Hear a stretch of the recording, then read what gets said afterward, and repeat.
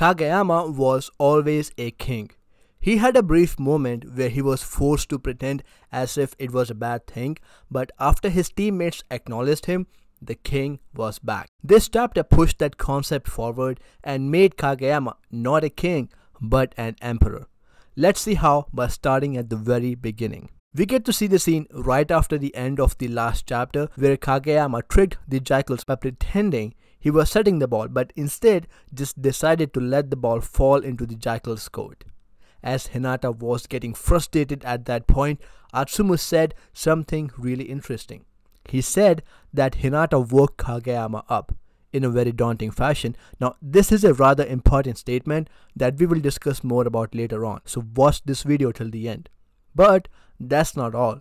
In the very next panel, we see Kunimi and Kindaichi discussing that Kageyama is going to head out of Japan next year. Now, this is not surprising considering Kageyama's huge talent and how he would like to prove himself everywhere. And it was also mentioned all the way back in chapter 370 when Yachi narrated that Kageyama wanted to test himself out in the foreign countries. So, this info was kinda shocking, I'll admit, but it was expected. A part of me now hopes that Furudate might expand on that lack of the story a bit more to keep Haikyuu running for a while. Anyway, I digress. We see the fourth serve from Kageyama which gets received by Hinata in the very next panel. I like the placement of the panels here. It looks like Kageyama directly shot the ball at Hinata's arm.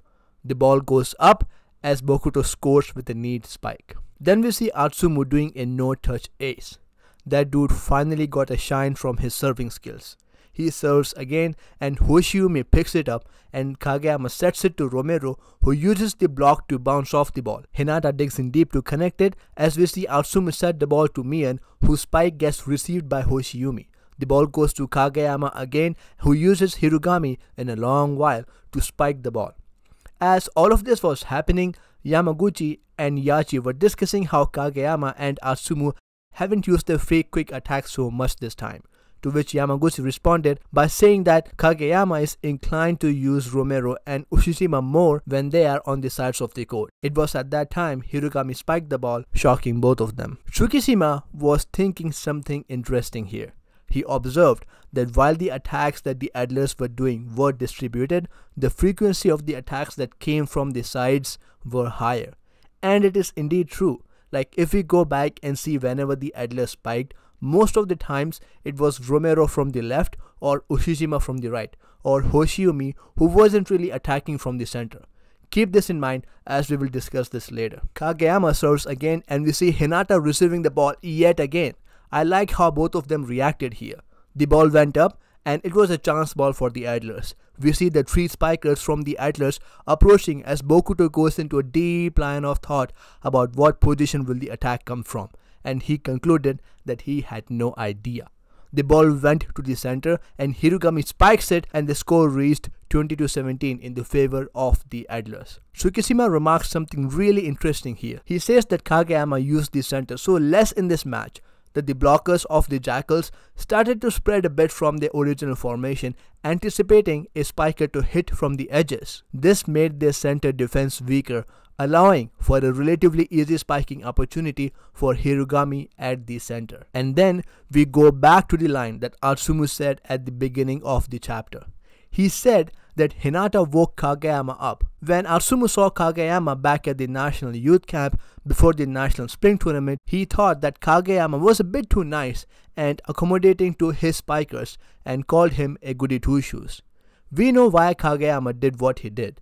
Kageyama was thoroughly rejected by his teammates in middle school because his tosses were difficult to hit and he was very harsh on his teammates about it. And after the events from his flashback, we learned that Kageyama felt very lonely and dejected. So when he was offered an opportunity again to build up connections and relationships, he bent over backwards and accommodated to his teammates' habits and techniques regardless of whether they were good or bad.